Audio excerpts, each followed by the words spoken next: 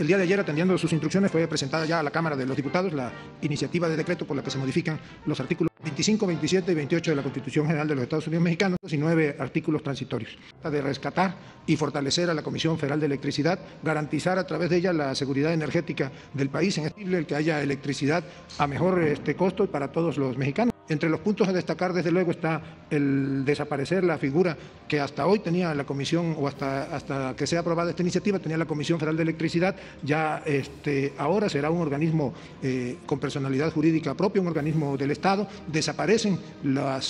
filiales o subsidiarias anteriores de la Comisión Federal de Electricidad y queda un solo organismo que será el encargado de la generación, de la distribución, eh, de la administración de la energía eléctrica que se produce. Se garantiza que cuando menos la Comisión Federal de Electricidad será la de producir y despachar el 56% de la energía que se genera en el país, pudiendo el sector privado participar hasta en un 46%. ¿Cómo se fortalece además la Comisión Federal de Electricidad? Pues desaparecen los contratos que se llamaban o se conocen como de autoabastecimiento. A partir de ahora desaparecerán ya esas sociedades de autoconsumo, por lo tanto ya eh,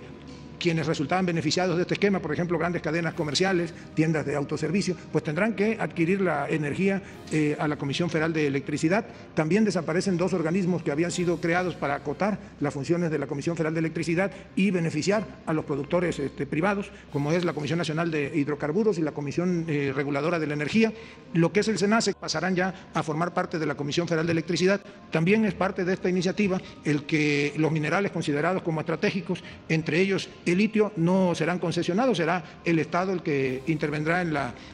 exploración y en la producción de estos eh, minerales. Hay este, ocho concesiones otorgadas a la fecha para la posible explotación de litio y quedarán vigentes siempre y cuando acrediten eh, ante la Comisión Federal de Electricidad y ante la Secretaría de Energía que han iniciado el proceso de, de exploración y eh, que están en los términos previstos para empezar la, producción. Ya no estaremos sujetos como hasta hoy a que los intereses privados sean los que fijen las tarifas, los que despachen este, la energía y los que utilicen sin ningún costo para ellos toda la red eléctrica nacional